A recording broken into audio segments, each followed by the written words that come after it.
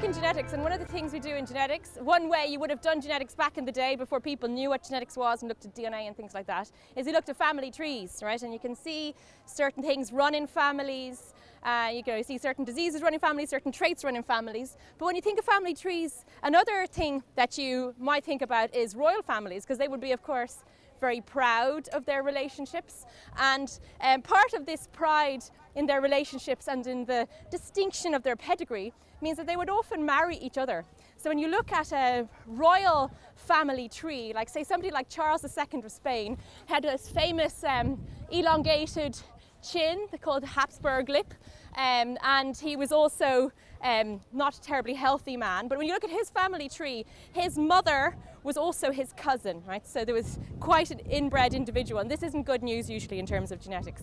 But um, genetics changed a lot when we started learning about DNA, and especially with the structure of DNA that Watson and Crick were the ones who discovered, and they quite famously, euphorically, and slightly arrogantly claim they discovered the secret of life, right? But we'll see if they're justified in this. So I brought along this model of DNA, as you can see, terribly accurate, but um, it's very simplified with this um, children's toy. But basically, what I've got here is two strands which are the two strands of DNA, like two lines. So does anybody remember the name that you call the shape of DNA? I think nearly loads of people know it. Double Yahoo! double helix, right? So this would be twisted, right? So these are, it's double because it's two strands. But the important thing about DNA is what they call the base pairs, right? So there's letters A, C, T, G, but instead of having four letters, I've got four colors. And the important thing about these is the pairing is really strict. So A always pairs with T, C always pairs with G. So what I've got is green is always with blue and red is always with yellow, right? These are my base pairs of DNA and this is my structure of DNA. And the really important thing about DNA, like why is DNA so important? Why does it have a claim to being the secret of life?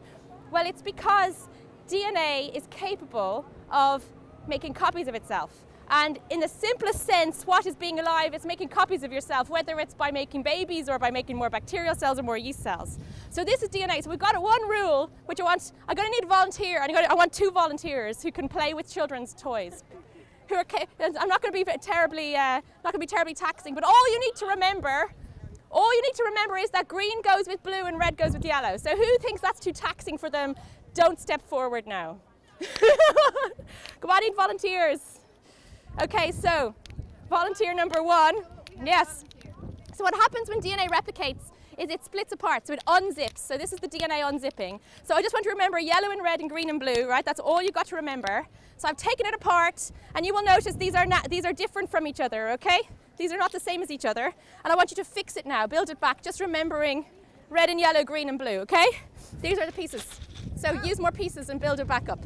Okay, so this is what happens when um, anything grows in order to transmit the information from generation to generation, uh, DNA needs to be copied, right? So DNA carries lots of information. You are human because you've got human DNA. You look very like members of your family because you've got lots of the same DNA as members of your family, right? So, one, so this thing that happens, DNA has this information that gets transmitted, and it has to get transmitted by a copying mechanism. And the beautiful thing about it is the copying mechanism is really, really simple. And these guys are going to go really hurry up preschool, preschool toys, which we're going to see. We have a, a, race to the finish here, but uh, putting you under pressure. My children love this toy; they find it nice and easy. Yeah. So okay, but um, so so so DNA copying of DNA is what carries information from generation to generation. But if you think about DNA and genes, most of you probably think you don't understand very, genetics very well. You're right, I don't understand genetics very well and I'm a geneticist. Genetics is really, really complicated.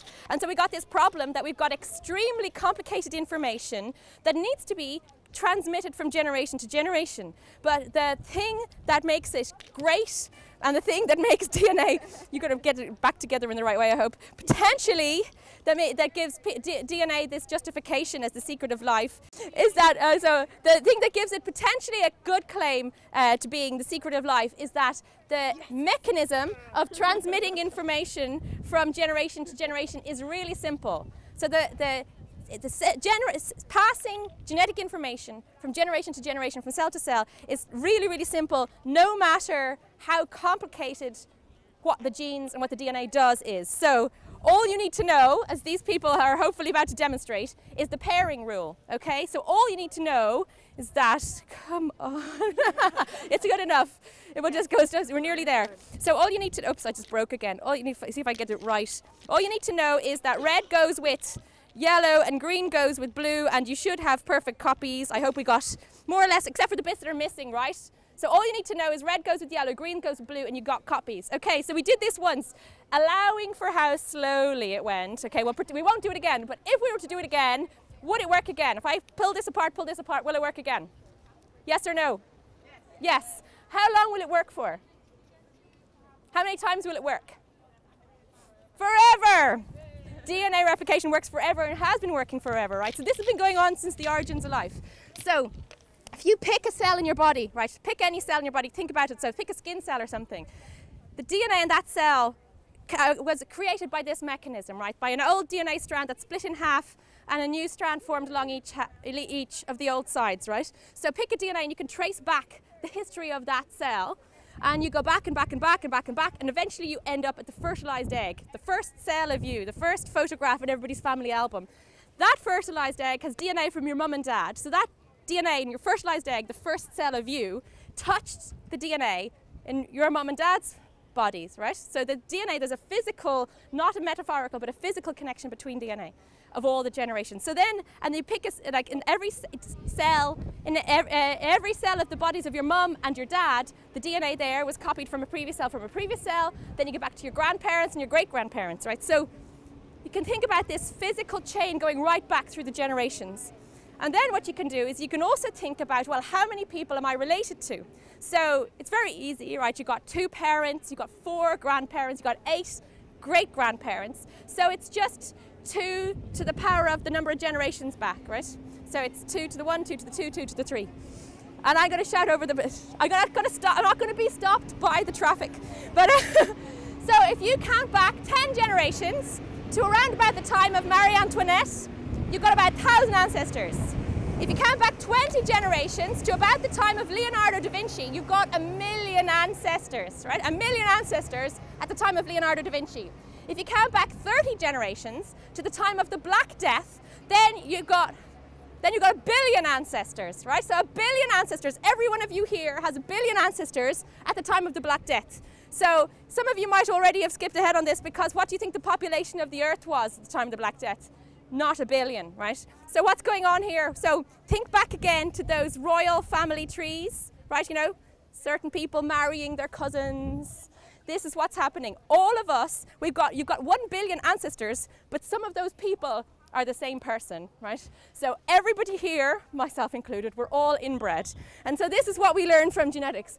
But we go back further this DNA touching DNA touching DNA touching DNA works for all humans, but then it goes to other animals as well. So think about some awful animal. Think about the most peculiar thing you've ever seen on any nature program. Something with, you know, like horny bits and gloopy bits and horrible things. So your DNA is touched DNA to touch DNA to touch DNA that's touched their ancestors' DNA, right? So we're all related. But then it goes even further than that because this relationship, this copying of DNA through all of life and through every organism applies to everything that's living, right? So even the grass here, any of the trees and the plants, there are some genes that are so important that they never, never change in terms of evolution, and they're almost identical between humans and grass, right? So there's one gene called histone 4, it's my favorite example. It only has two differences in the, in the protein that's made, two differences between humans and grass.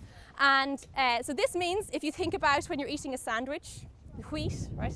Wheat is grass. So the, the wheat that goes into making the sandwich has genes that are, you know, as good as human genes. I like to say this to unsettled vegetarians from time to time. But uh, so, so that's one thing to remember. But this actually is the power of genetics, right?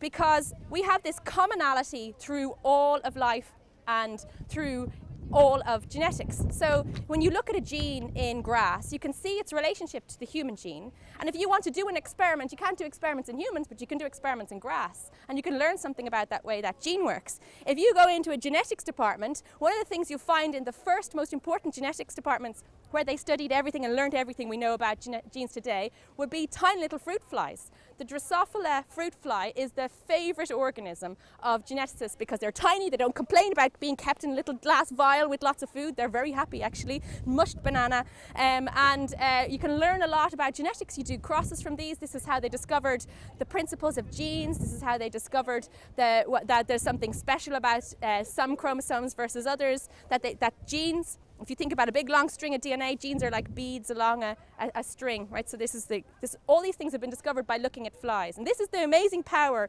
of genetics because this commonality, this DNA that's copied through all the generations and is shared by every living thing means that we can under, make, do experiments and learn things across all of life. But the, the thought I'll leave you with, with all of these relationships and that everybody's related to everybody, including all the animals, is think about any of your family members, your parents, your mum and dad, they're related, your boyfriend, probably part goat, and uh, but this is so this is the thought. If you remember one thing, you can remember that. So thank you very much for coming. I hope you have a great day.